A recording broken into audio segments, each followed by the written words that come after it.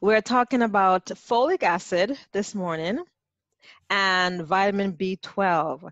A so very, is folic acid vitamin a B vitamin? Is that what you're saying? It is, yes. Mm-hmm. It is a mm-hmm. B vitamin, and uh, it's very important. Like all the others, it's it's useful for red blood cell formation. We need it in our children for them to grow well, and it's essential for reproduction. We needed to prevent neural tube defects in, in fetuses, so in a fetus. So uh, the neural, the nerves come down from your brain all the way down your back and down to down your spine, and for that to form well, we need enough folic acid. It's extremely important during childbearing years. So young women, women who are considering having children, you need to increase the folic acid in your diet. Now, if you don't have enough folic acid, this is what might happen. You could become anemic, which is a low blood count. And a low blood count makes you weak and tired. Um, also, you can have neural tube defects. And the term doesn't make sense unless you can really see a picture. This is just an example here of a little baby where the you can see that um, mass coming up here. It's because the neural, the, the nerves, the spinal cord did not form well in this baby. And so this child ended up with um, some of their their uh, nerves and their their, their neural tube sticking out of their body and so that is not what you want that's just one example of what can happen um, so your obstetricians are very cautious to remind women to, to get more folic acid. And they'll mm-hmm. often give you in a pill, but we're going to go over what foods are high in folic acid and what foods you should really be maximizing when you're pregnant and before you conceive. You can also, if you're deficient, you can have a sore mouth and tongue. Um, a lot of times, sores in your mouth and a, a, um, a, a smooth, uh, abnormal feeling tongue is due to vitamin deficiencies. Mm. So, what are the sources of folic acid? Well, the biggest source are from legumes legumes, really weird term, but that's just beans and peas, your lentils, you know, all these beautiful legumes over here should be a part of your diet every day. So um, one day you might have brown lentils. The next day you could have red peas in something. Um, you could have it in a soup or with rice. The next day some black beans and maybe a black bean burger or, you know, a black bean stir fry with vegetables. And then you can go to yellow split peas I made some yellow split peas burgers for lunch yesterday. Huh, it was very good. Um, and I didn't make it in one day. Sometimes you think it's so time consuming to make these things from scratch, but to let you know how I did it, I made this burger over like four days. So the first day I boiled the lentils, the, the, the um, yellow split peas. Then I put it in the fridge because it was boiled and it was soft and ready. And then the next day I took it out and I, I, I mixed it up with so, with the stuff for my burger. I put in some brown rice, some cut um, some onions, some garlic, some carrots, and I made my my dough for the burger. Then I put it in the freezer. I was done with it that time. Then the next day I was ready for my burger. So I took it out, formed the burgers, put them on the grill. So it, you know, it does take some thought and some planning to eat a plant-based diet, but it is so worth it um, because the benefits certainly outweigh whatever inconveniences you may experience. And the benefits we've discussed are great health, excellent health. So legumes, definitely the major source of folic acid and get them in your diet every single day. Then green leafy vegetables. Spinach and lettuce are two examples, but also your broccoli, your asparagus, your okra, sprout, Brussels sprouts, cauliflower. We need to get vegetables in every single day. There should not be a day that goes by that we don't have some good greens because they're essential for us to be healthy. Also, nuts have folic acid. Cereals, whole grains like rice, oats, quinoa, bulgur, and oranges and carrots have folic acid too. So there's a wide variety of foods where you can get this important acid from. it's especially needed during in these individuals if there's growth, a big growth going on. So in your infants and adolescents, they need a lot of folic acid. If you're taking an oral contraceptive, because that blocks the absorption of folic acid. So if you're on the pill or any other kind of birth control like that, you need more folic acid. If you have heart disease, why? Because folic acid has been shown to help decrease some of the inflammation. It decreases homocysteine, which is linked to higher rates of heart disease. So if you have that, it's good to beef up on your legumes and your greens. If you have anemia, it helps to form the red cells better. And if you're on certain medications, like certain anti-seizure meds and anti-cancer meds, those limit folic acid absorption and function. One I can think of right now is methotrexate. I prescribe that a lot for rheumatoid arthritis, but I have to tell my patients, you're not gonna be able to absorb folic acid, so you need a lot more. So certain meds, you know, you have to be on the lookout and increase your folic acid intake. All right, B12. This is a very important one for individuals, um, not just on a plant-based diet, but for everyone. People often think, well, B12 is for those vegan people. That's their problem because, you know, I eat meats and so I get B12. But I have some very interesting news for even meat eaters when it comes to B12. So vitamin B12 is called cobalamin.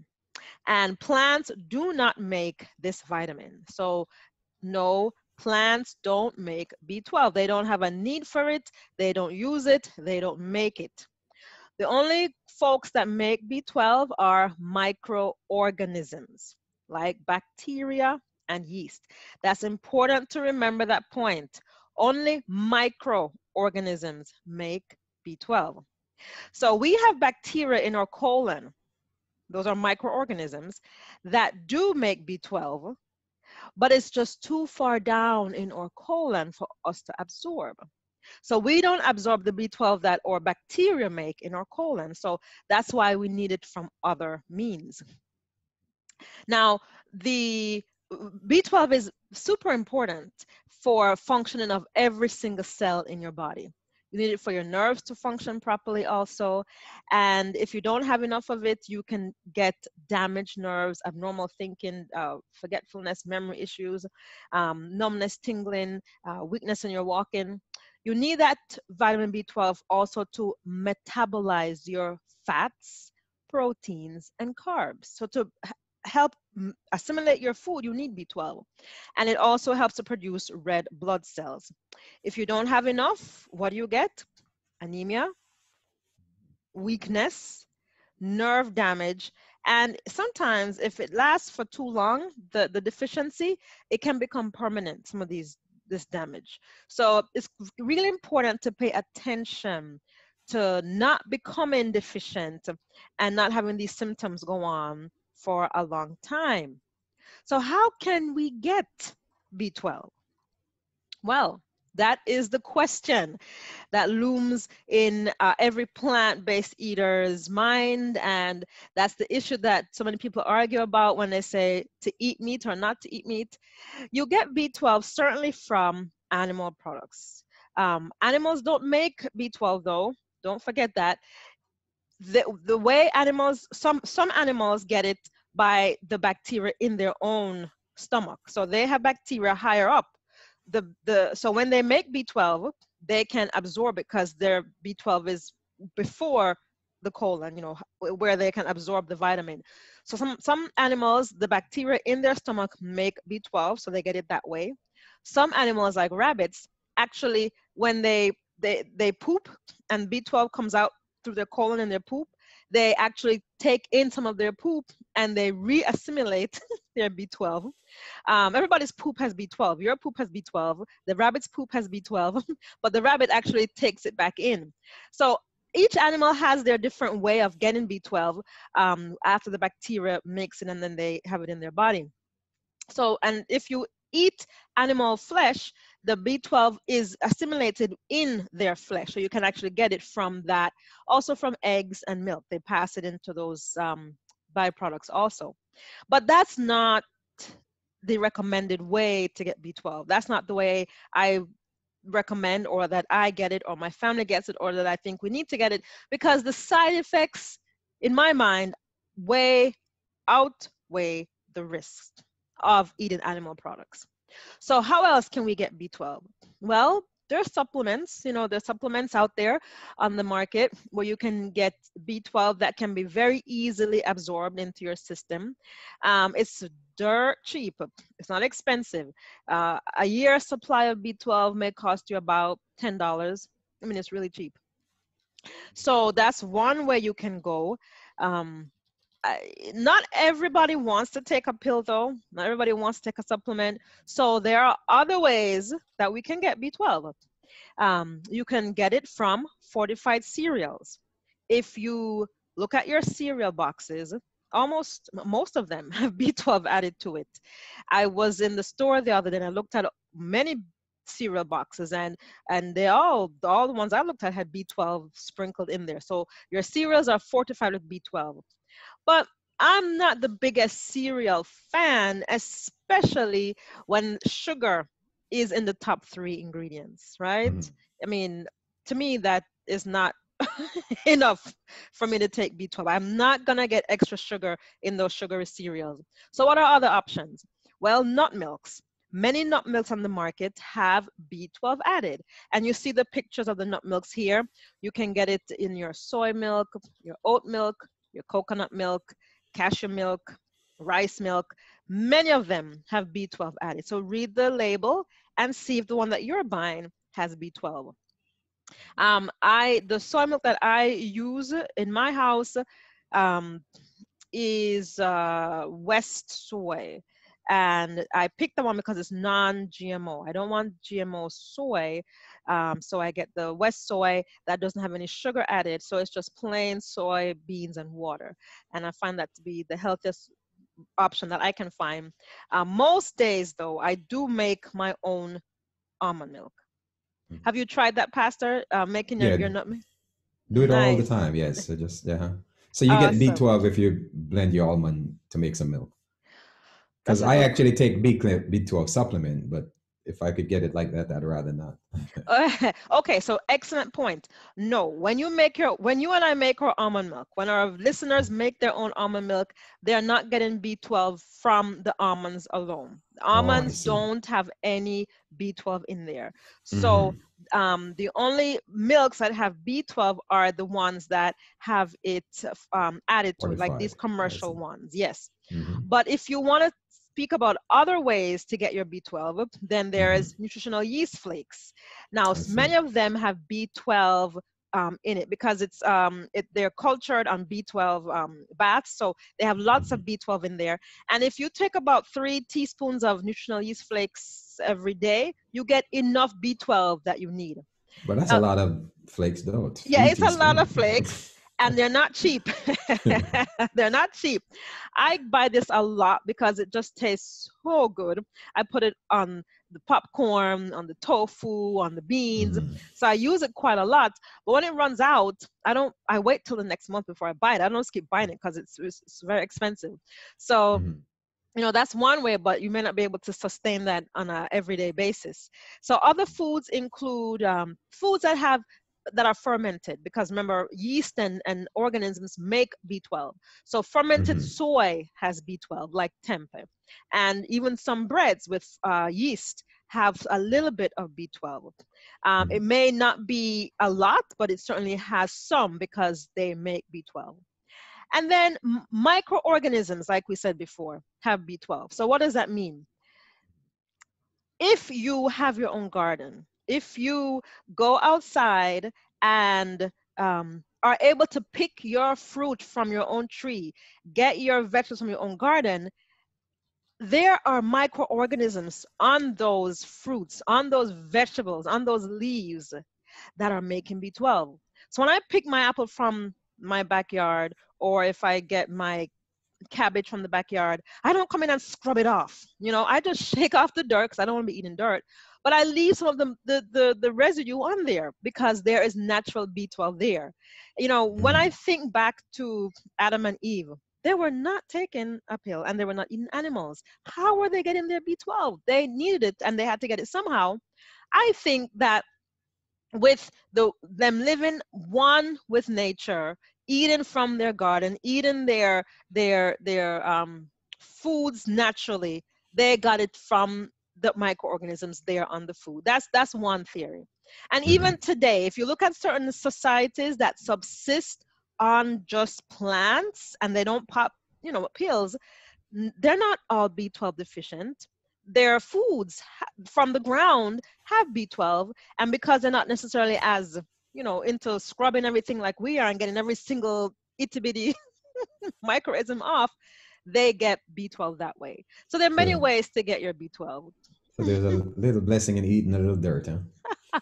there is a lot of blessing in getting some dirt in your hands, in your nails, and even on your food. Really, it, it really um, is amazing. So, so, I mean, would that be the case if you were to eat, like, you know, you're eating the skins of vegetables such as stuff you potatoes, for example? Would there possibly be B12 on those? Yes, but what I would recommend is if you're getting your foods from the supermarket, you know, I wash those, I scrub right. those. I don't know exactly where they've been and who's been all over them.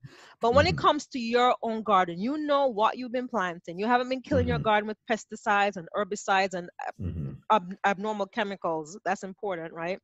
And you are picking it from your own garden. Shake off the dirt, and eat it. You don't have to soak it in water, scrub it, pour all kind of chemicals on there.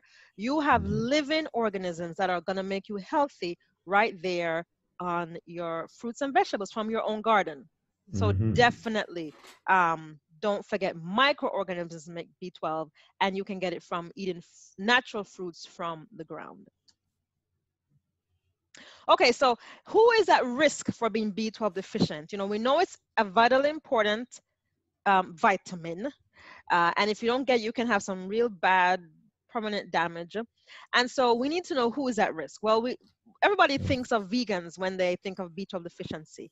And yes, vegans, strict vegans are at higher risk because you know they they are they may not have fortified foods they may not want to take a supplement and so they're at risk um, but not only strict vegans a lot of other individuals can be at risk like folks on certain medications like metformin.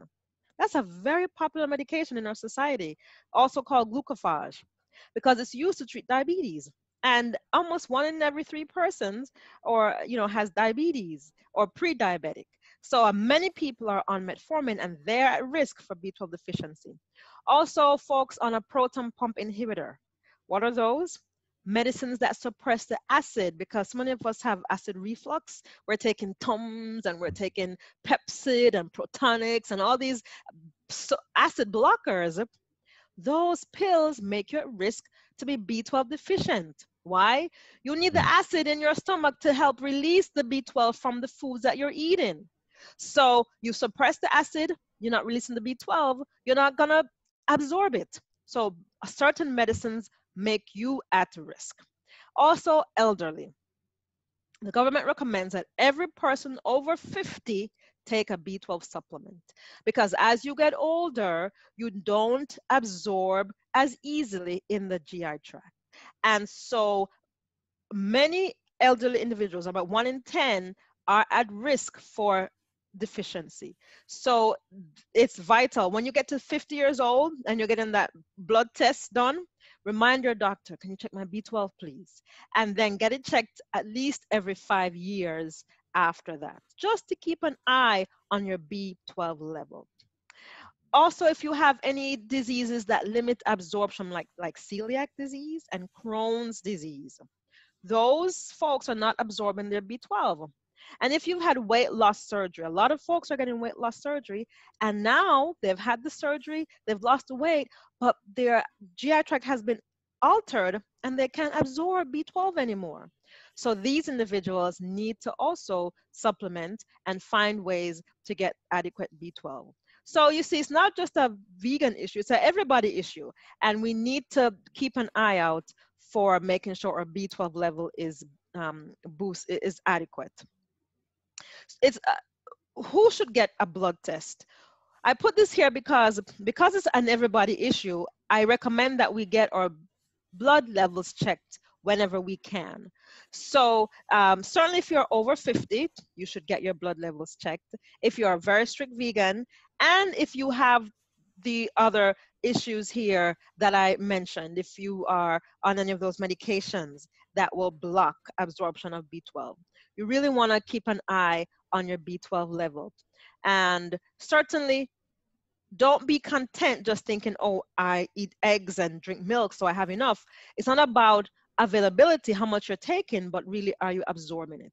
If you do take the supplement though, that is extremely highly um, assimilated into the system. So you don't necessarily have to check your blood test all the time if you're on a supplement already. Um, so, you know, I, I, definitely wanted to, to talk about B12 because it is a hot topic in the plant-based world.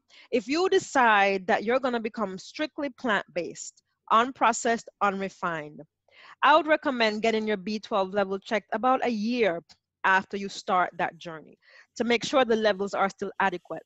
Um, because as you're becoming more and more unprocessed, unrefined, you'll make more things from scratch and you may not be having as many fortified um, foods. So you, you want to keep an eye on that.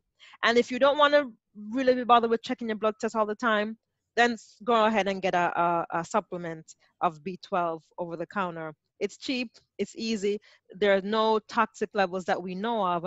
And so you can put your mind at ease if you want to do it that way. Someone was asking if uh, if there are benefits in cooking with wheat germs. So uh, cooking with wheat germ. So yeah, let me make sure I said the question correctly, but that's what it said. okay. Uh huh.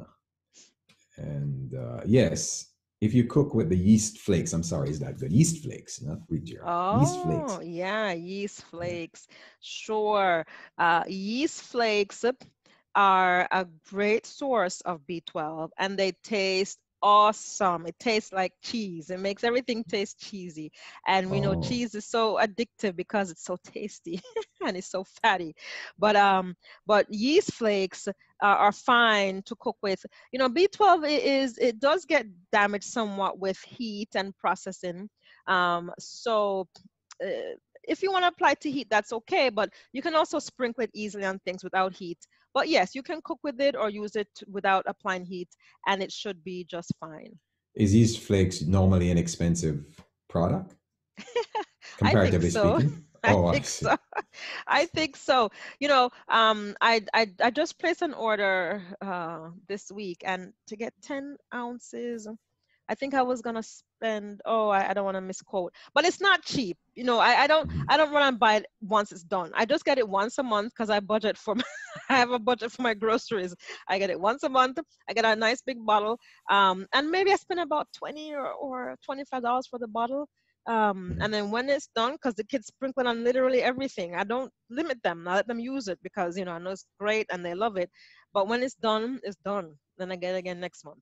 So mm. it's kind of on the costly side, um, but it, it, makes food taste really awesome, and it's it's good for B12 also. And and again, how does B12 manifest itself? Um, in I saw the was it the extreme with the baby? That wasn't B12, was it? No, that was folic was, acid. Yeah, which is a yeah. biggie in pregnancy, so, a real biggie. Um, but B12, you would have symptoms like, like, let's see, so B12 deficiency, anemia. So you get uh, real tired and mm-hmm. sluggish. Um, weakness, literally weakness. You don't have the strength to, to pick things up and to move around, mm-hmm. and nerve damage with difficulty walking because your legs are so weak um, and your nerves don't mm-hmm. function well to tell your legs where to go. Problems with thinking you know dementia alzheimer um, difficult remember difficult to remembering things um, and also numbness and tingling nerve type things that's a way mm-hmm. that it can manifest.